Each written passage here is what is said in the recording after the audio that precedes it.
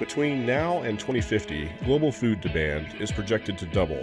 New agricultural methods make it possible for farmers to maximize crop yields across a fewer number of acres, and aerial spray applications are often the fastest, safest, most efficient, and most economical way to treat crops when pests and disease threaten. Air tractor spray planes are designed not only to spray synthetic chemicals, but also to support organic farming. These aircraft can spray natural pesticides and fungicides found in our native environments that are toxic to insects and pathogens that threaten our crops and global food supply. Was always my dad's passion that his airplanes were workhorses. They're work, working airplanes. It's important. It's feeding the world and it's growing cotton and fiber for clothing and it's also helping with mosquitoes and other insects and helping to prevent those. So yeah, I mean, it is a very high calling or high purpose, and it's something that I think everybody at Air Tractor is very proud of. Air Tractor currently produces six different agricultural spray planes, ranging in size from 400 gallons up to 800 gallons.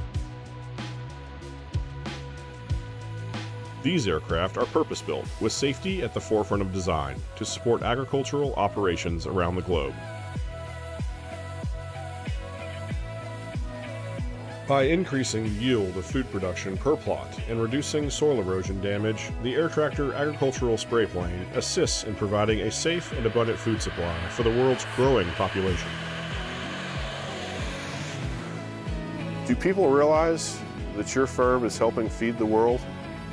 I hope they do. You know, we spent some time thinking about that 10 years ago and what our purpose was and what our mission was. Why do we come to work every day here and build these airplanes? And we want to do our part to help feed and protect the world that we live in. These airplanes are operating globally. It's not just the U.S., it's South America, it's Australia, Canada, it's Europe, it's Southern Africa. It's a lot of places in this world. Crops are constantly under threat, and the air tractor is the farmer's go to resource, ensuring their hard work and the food they grow gets to you.